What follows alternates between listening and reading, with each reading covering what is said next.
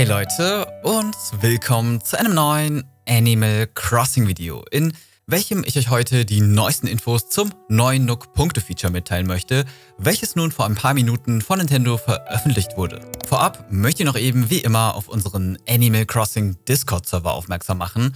Auf diesem könnt ihr neben DIYs, Blumen und Fossilien auch Bewohner miteinander traden und zudem neue Schlummerinseln entdecken. Also falls ihr Bock auf einen sehr aktiven Animal Crossing Discord-Server habt, findet ihr den Link zum Discord in der Videobeschreibung. Mit dem neuen Nook-Punkte-Feature, mhm. welches wir ab heute in der Nook Link-App finden können, welche wiederum Teil der Nintendo Switch Online-App ist, können wir ab jetzt täglich Nook-Punkte sammeln. Um genau zu sein, sind es 10 Punkte pro Tag, welche wir dann wiederum gegen exklusive Ingame-Items eintauschen können.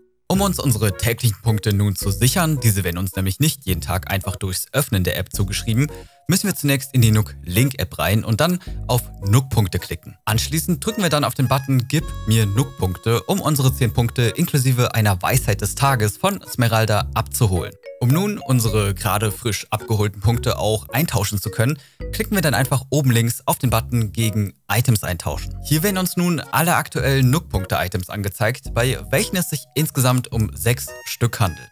Im Einzelnen handelt es sich bei den Items um das Nook Ink Poster, das Nook Ink Türschild, die Animal Crossing Tasche, sowie um ein Foto von Neb und Schlepp, ein Foto von Melinda und zu guter Letzt um ein Foto von Tom Nook höchstpersönlich.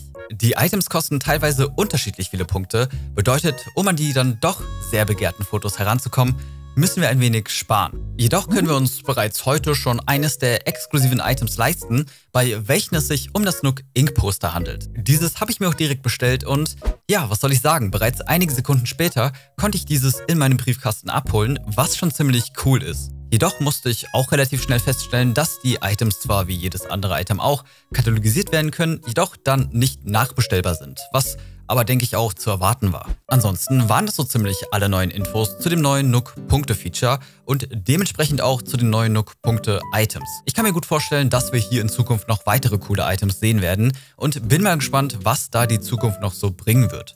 Schreibt mir auch gerne euer Favorite Nook-Punkte-Item in die Comments. Ich selbst muss sagen, finde das Türschild sowie die Switch-Tasche schon ziemlich cool. Dann würde ich sagen, ich hoffe, euch hat mein kleines Video zu dem neuen Nook-Punkte-Feature ein wenig geholfen oder eventuell sogar gefallen? Falls ja, würde ich mich natürlich wie immer über eine positive Bewertung freuen. Dann sehen wir uns eventuell im nächsten Video wieder. Macht's gut, bleibt gesund, bis dann und ciao.